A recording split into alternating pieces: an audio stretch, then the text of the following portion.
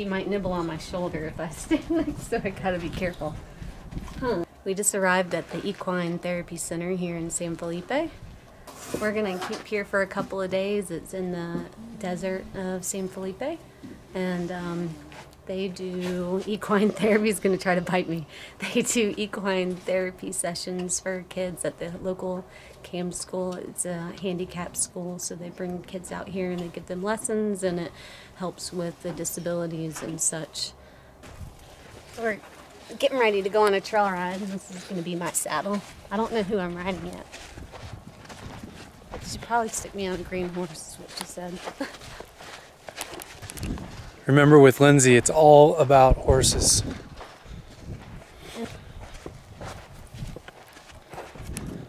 So as we were looking at places to connect with and volunteer and help get the word out about the organizations, this is one that was right up our alley.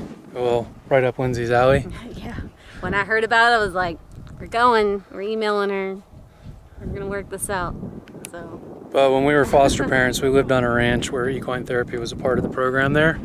So this is something that's really close to heart for us, and uh, definitely, definitely for Lindsay. Yeah, it's awesome.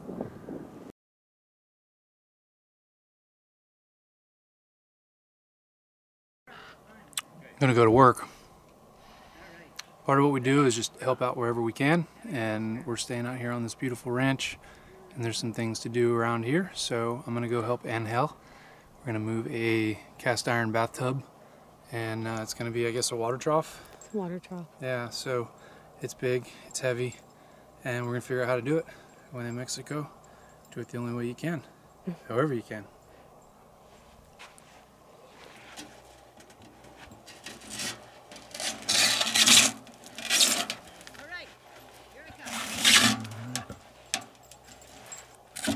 Oof. No, that thing was heavy. Right? Yo entiendo. Oh, ya. Right? Yo comprendo que quiere.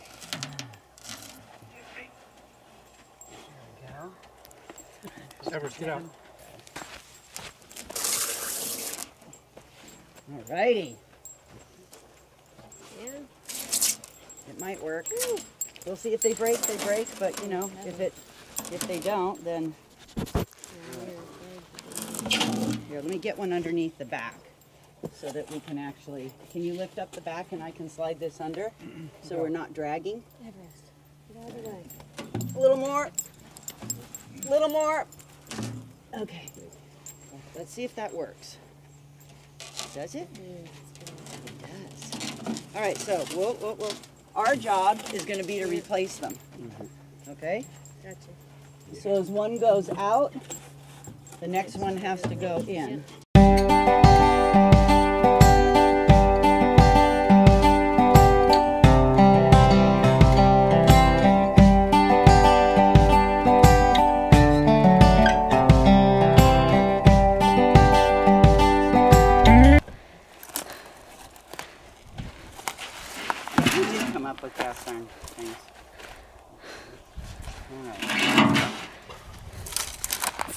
It's but it's heavy. There you go. Yep. You got it. I will, when I actually do the plumbing, I'll put it up on blocks, but here it's where it's supposed to be, so that's good. Perfecto. After a little bit of work at the ranch, we are going to go enjoy a little pool time. So Lynn, our host, has been awesome and she's invited us to do everything that she and her friends do. So we're headed into the pool right now. We're gonna do a little bit of relaxing. And then we've got an appointment in about an hour and a half or so where we're gonna meet the director of Sunshine Orphanage and talk about how we can get involved helping out there while we're in San Felipe. So for now, es domingo, let's go relax.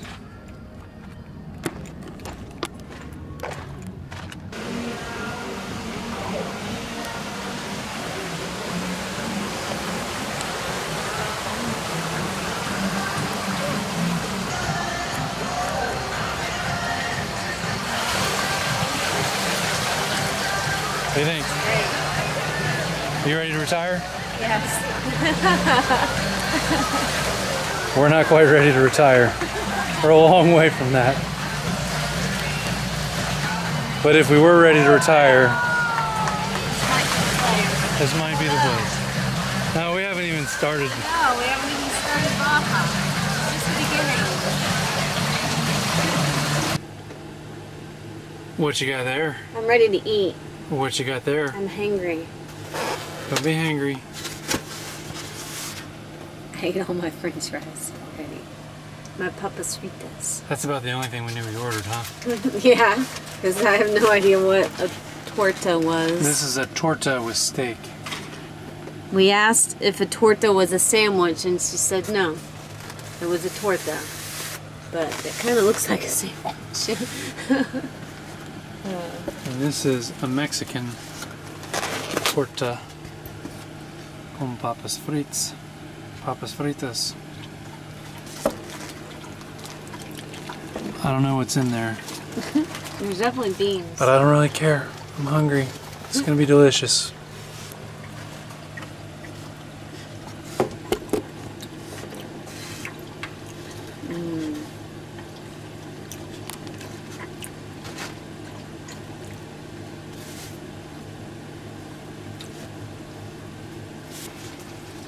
I'm nowhere near as picky as Lindsay.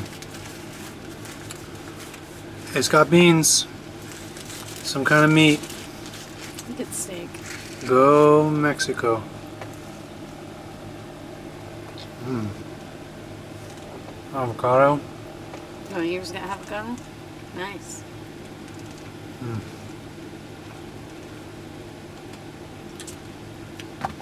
I like it. It's a strange kind of bread. It's not really bread. Yeah. I guess that's what makes it a torta. Mm-hmm. I'm gonna say yes. It's not a pizza bread, But it's similar. not a hamburger bun. Yeah. Oh. Oh, good. Um, I don't think it's In-N-Out good, but it's good. Okay. That's enough. I'm gonna finish my meal. This picnic over there hasn't even started yet.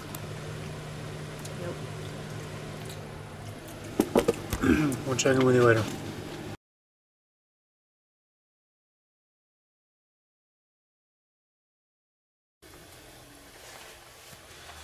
What's going on over there? Getting ready for a moonlight ride. A moonlight ride. Mm-hmm. It's a full moon out there. And I've got horses. You so you're going on a car ride. No. No. I've got horses and there's a full moon outside. I'm gonna go saddle up.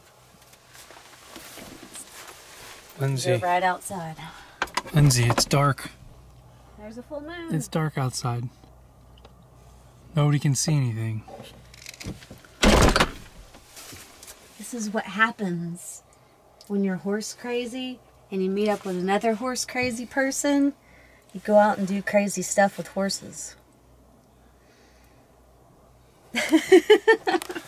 It's always horses. It's always horses. well, have fun. I will. Me and the dog.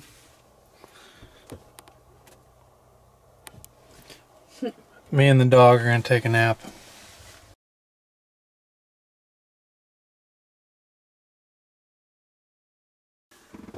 Today's an exciting day. I'm really excited. This is kind of what we're here in San Felipe for, Yeah. And our very first volunteering experience, formally. formally, yeah. Yeah. Mm-hmm. So what are we doing? We are going to help with giving therapeutic riding lessons to some disabled children that go to the local CAM school. It is a school just for severely disabled children. And so part of their therapy is getting to come out and ride the horses, which helps stimulate the nerves in their body. It uh, connects the the commands from their brain to the different parts of their body while they're you know kind of bouncing around on a horse. Most of the children also can't walk very well, so riding the horse actually stimulates the muscles, the same muscles that we would use for walking, and the horse's steps mimic that same walking, like how humans walk. So it's really good for children that can't walk and to use help use those muscles. Lynn, the owner of the ranch and founder of the program, started the program about six years ago. It took about three years of um, processing the paperwork with the Mexican government. It is a formal nonprofit registered in Mexico. So after the paperwork, it's taken, uh, or she's, I guess, had three years of this program and has seen tremendous success. It runs year round, uh, except during the summer when it gets too hot. And then the kids get transferred over to the city pool. There's been arrangements to move down there, and so they get to do the same physical stimulus in the pool that they kind of would have on the horse. Mm-hmm. So this is a year-round program. Lynn sustains it through volunteers, through donations, um, through her working. She continues to work on the side because this is her passion, her dream, and she takes her her past in working with kids as an elementary school teacher and her love of horses, and the two combined is just it's going to be awesome to see. Yeah. so we're going to go outside and get all set up with the other volunteers that have started to show up, and we'll get ready for the kids. So man, this is this is cool.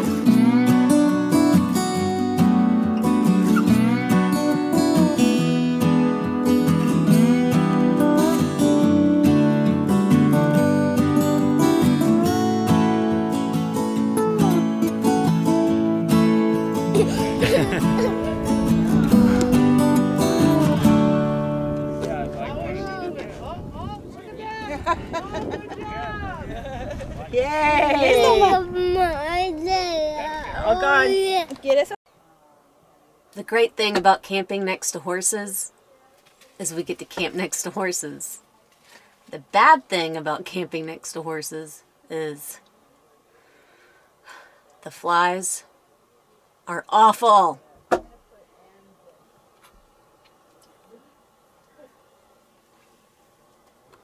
We've come up with a few methods of removing flies from our camper. The first way involves a good old-fashioned kitchen towel.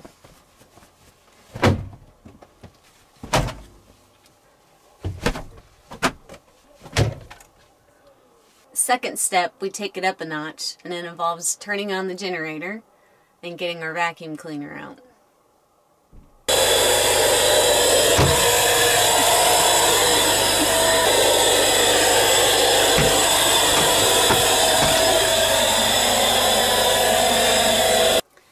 Last method is a bit more complicated, so I think I'll just show you.